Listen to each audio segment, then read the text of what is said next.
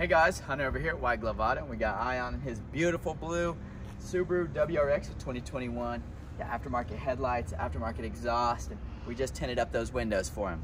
So Ion, how did you hear about White Glove Auto?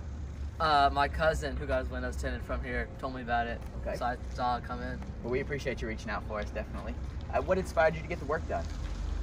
Um, really just heat reduction. That was the main thing, Gotcha. especially in the summer. It's hot. I Yeah. understand that. Definitely want to cool off out here.